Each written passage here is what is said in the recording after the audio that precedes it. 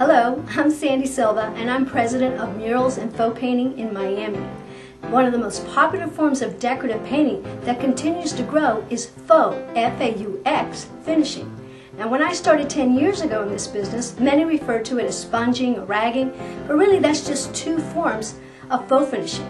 Now there are a variety of methods and systems out there to achieve various finishes, but I would like to share with this brief video what I believe as a professional is the fastest and easiest way to achieve beautiful, elegant finishes without complicated and messy steps. Now there are a lot of textured finishes out there, but some of them require expensive materials and glazes. But I have found that the most popular and requested faux finishes are still the simple ones. As sponging is one of the most easiest and basic types of faux finishing out there. But even with most methods, you still are required to blot your sponge on paper, then proceed to faux a two foot section, and then you repeat the process, which you can see that in high areas, this can be quite exhausting. But with the Triple S Faux Systems multicolor faux palette, you get just the amount of glaze you need to sponge up to 50 square feet without reloading. To begin, we load our palette with our prepared glazes. The great thing about this tool is we can faux multiple colors at the same time. We've loaded our palette with two sections of dark green, one of burnt umber, and three of golden brown.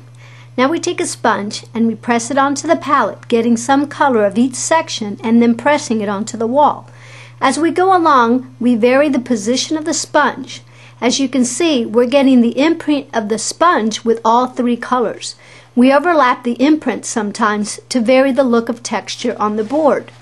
We can always come back to any section we feel has too much of the base coat showing through. Our board was painted with a light tan color for our base coat. With this finish, there's no need to feather out any sections that butts up to another because lap lines or seams do not show. Because you're only using a small amount of glaze each time, you can press the sponge and easily faux an entire wall without stopping. Here's our board up close.